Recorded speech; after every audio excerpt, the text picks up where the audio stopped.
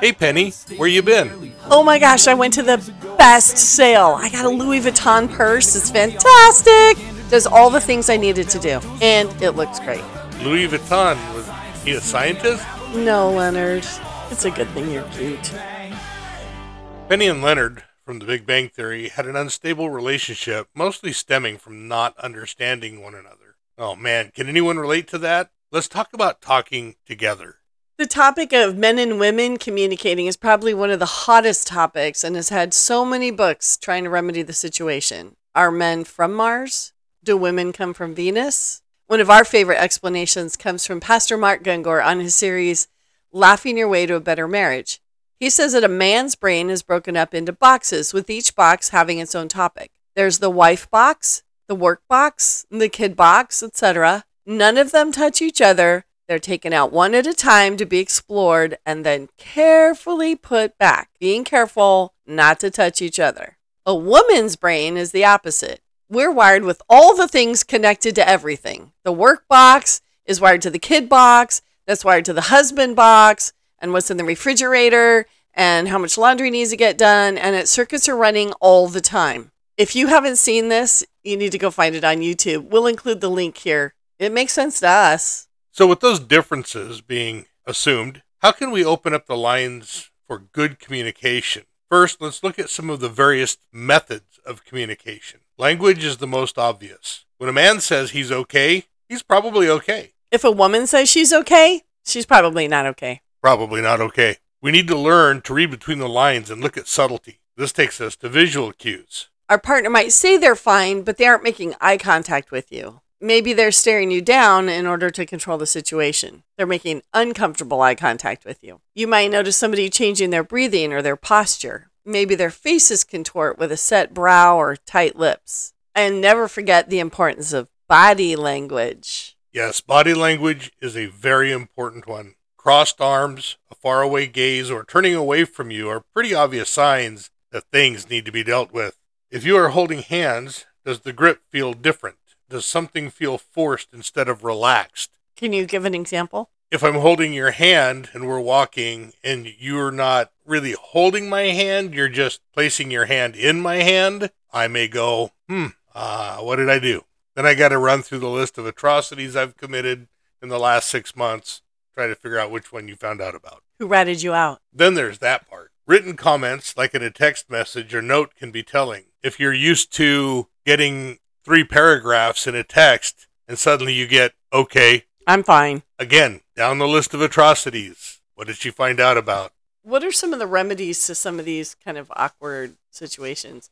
And sometimes it's just a matter of there's a different atmosphere in the room. You can't really put your finger on an action or a response, but you can just sort of tell that something's off. So is it a good idea to bring those up or do you just kind of let it slide and hope that somebody will bring it up at some point? How do you, how do you know when to talk about it and how not to talk about it or when not to talk about it? And that's another one that sense in your environment is the air heavy or light? Is it dark and foreboding? Again down the list of atrocities or is it airy and comfortable? So the dark cloud that is raining on your head? That's a pretty good indicator. Mm-hmm it's not uh, it's not always easy to tell if there's something going on. But you know, the best way to find out, ask. Hey, how about that? That that can feel really scary to me. Um, I used to be locked into a programming where I didn't feel that I had a right to be upset because I was programmed that way. So it would take me days to figure out if it was okay that I was upset over something. Then I had to formulate an entire communication process, Morse code, I don't know, Telegram. How was I going to bring this topic up? Because now it's been days. So, how to go, remember Tuesday when I seemed upset about a thing? So then you got to figure out, got to unwind all of the situations. And it's been very difficult for me to learn how to express what my needs are and to unravel some of the stuff. This is it's never something simple. It always seems to be wound up into in the baggage somewhere. Well, if you're not if you don't feel comfortable in asking or communicating your feelings, your questions, what does that look like? How how do you get there?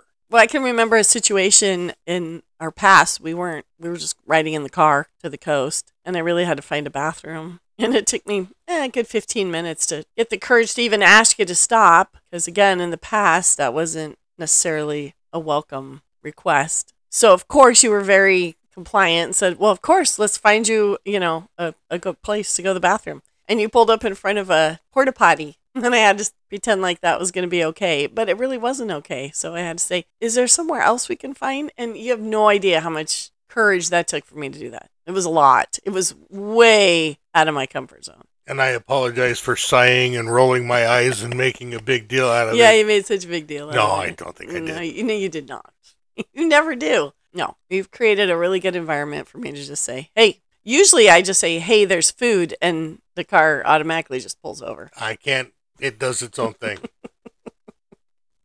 That's a pretty easy way to do it. So, learning each other's communication style is important, and we all have communication styles that we've we've grown up with. Maybe they weren't healthy ones. Maybe they were. Um, maybe we didn't have any at all. My dad was really big into New Age everything. If there was a seminar or a retreat, something that cost a lot of money, where he could go and learn to be in tune with something, he was on it.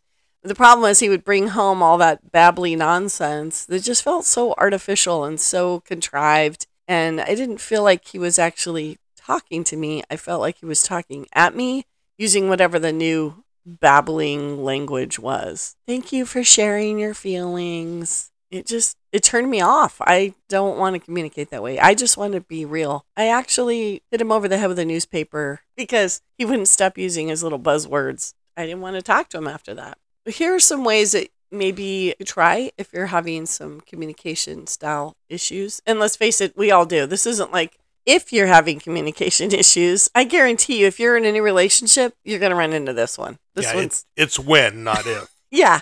And this doesn't necessarily even have to be with your partner. It could be with your kids, your parents, your friends. This doesn't relate to necessarily just the person that you're in a relationship with. Um, it could be anybody. So here's some thoughts. Um, make sure that the atmosphere feels safe for communication. If you feel threatened or uncomfortable, you're not going to speak out and say what's really bothering you. If you're the listener, don't interrupt, dismiss, or justify your actions if they are hurting somebody else. You need to make sure that the person you're in the relationship with, one, feels comfortable to communicate with you. Two, spend some time training yourself to learn about this other person and their behaviors, the way they speak, their body language. That's on you to learn these things. They shouldn't have to tell you everything. They shouldn't have to storm out of the room. You should immediately pick up when their ears go back, you said something wrong. Keep eye contact and possibly physical contact if both people feel comfortable with it. It can keep feelings from running amok. Let them know I'm here for you. Don't try to fix everything. Sometimes just listen. That's a man and woman thing. Seriously. Yeah, guys are the fix it guys. I mean, fix it garbage disposal, you do all the things, but we don't always need a fix it guy. A lot of times we just need a place to vent and uh, get it out. And as the listener, you may not understand what's happening in the current situation. I've been there, but you can reassure your partner that you will work on changing any behaviors that have been hurtful and then actually do it. And it's okay to have to remind the person. I mean, I think as sometimes um, as Venus dwellers, we expect that if we say it once, you should have that figured out. You should remember what we said and that you shouldn't ever make that mistake again. But we know that's not true because Martians have short memories sometimes. It's the short antenna. Aha. Well, look at that. We learned something new today. As a talker, you need to own up to your feelings too. I'm very guilty of dismissing my own feelings rather than owning my own feelings because I don't feel like I have a right to do that. So, if this is a difficult topic for you, it I get it. But I have learned that if I say things instead of putting blame on somebody like this is what you did, if I can say this is how I feel about this, it tends to diffuse some of the emotion that can come out, both as the talker and the listener. Yeah, I'm bound to do or say something that's going to I don't I don't really want to use the word trigger, but it I mean potentially can without meaning to. I mean, it's nothing malicious or Right. I'm not being mean. Right. But I need to know what I did. And it's okay to say that that particular behavior makes me feel uncomfortable hurts my feelings, makes me want to take a steak knife and well, no, okay, no, no, not No, that. We don't say that part out loud. Oh, right, right. I forgot. That's the things we keep deep inside. If you can, if you can dial it in, see if you can be specific on what's really bothering you. Sometimes we don't really know, especially if there's been a lot of trauma in our past. Sure. We just know that this is feeling traumatic again and we don't really know why. And that's okay too. You can say I don't I don't know what this is all about, but I, I feel really uncomfortable right now. And it, it may not even be the action of the other person. It could just be hurt from the past somewhere. But getting it out then diffuses a lot of the hurt around it. Yeah, it just gets bigger and meaner if you push it down and try to keep it in. Hopefully, you're in a relationship with somebody that you feel safe enough to be vulnerable with as well. Because obviously, in communicating these things, you're going to feel very exposed and vulnerable. And if you're not used to that, or if you feel in the past that you haven't had a safe place to do it, that can feel a little unnerving. If I respect you, trust you, I'm going to be able to be vulnerable with you. Yeah. If I don't trust you, probably shouldn't be in the relationship. Or you're not ready to move into the next step of the relationship. Maybe you're There's- still a beginning. Sure, there's that. Yeah. Yep. Because those things take time. Trust, trust and respect are not instant gimmies. You're preaching to the choir, sister. You got to work on those things. Yeah. Yeah. You got to test each other and try out different situations that are going to build up the trust and the respect part. That has helped a great deal, guys, by listening, sincerely paying attention, and learning about the other person in the relationship. Very important. Part of it stems from our ability as men to have the boxes and compartmentalize everything. Well, if she's telling you something important and you're in the I'm fishing box or the nothing box, which women don't have, and but if you're in the nothing box and she's trying to relate to you something important, you're in the wrong place. Yeah, guys get a nothing box. What is that? I want a nothing box. I probably have to unhook some wires and then be attached to something really important, and I won't remember passwords or something. I don't know. Okay, but you unhooked the wrong wire. I know. You ever see the TV shows where they clip the wrong wire and, you know, thermonuclear detonation kind yeah, of thing? Yeah, it could be bad. Yeah. Yeah, we don't want to do that. No. Just learn how to manage that 220 wiring that's going on in there. I think the last thing to remember is to be quick to forgive, prompt to shift your behavior, and then gracious in showing forgiveness. You're in this to help each other be better people. So, like we always say, grace is part of the race. Yes. And I know you well enough because I've studied your behaviors. I've studied how you act around other people. I've studied how you interact in most everything that you do. And I know that if you do something that for whatever reason upsets me, I know that you didn't do something like that intentionally. Your purpose wasn't to tweak my tail feathers and, and cause me to be angry. So then I, knowing this, can go, all right, what was that about? And we can have a conversation about it. Right. And usually we're angry because of something that happened not related to the person. It was something from when you were 15 or 20 or 30. Right. And it has nothing to do with the current situation. It's not always the case, obviously. People still make mistakes, but a lot of times our feelings feel bigger than the situation calls for because we're still dragging something around with us that needs to be resolved. Proverbs 1 The Proverbs of Solomon, son of David, king of Israel. For gaining wisdom and instruction, for understanding words of insight, for receiving instruction in prudent behavior, doing what is right and just and fair, for giving prudence to those who are simple, knowledge and discretion to the young. Let the wise listen and add to their learning, and let the discerning get guidance. It's all about taking the time, seriously, taking the time, having the patience, truly listening to your partner. And this goes both ways because we've all got stuff, we've all got baggage, we all come with stuff that we've got to talk about. And sometimes it's just that. Guys, you don't need to always fix it, you just need to listen.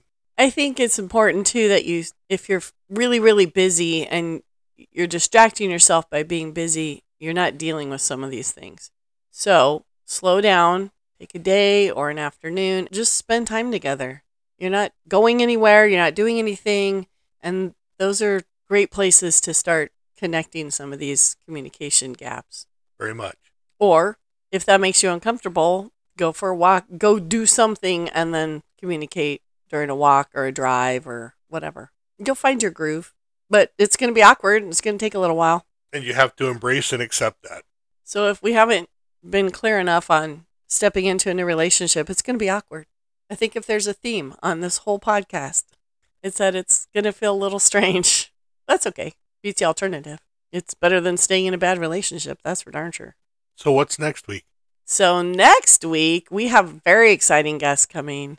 We have Mork from Ork and Mindy from Colorado. And they're going to be here and they're going to be talking about blending two cultures or backgrounds into a cohesive relationship.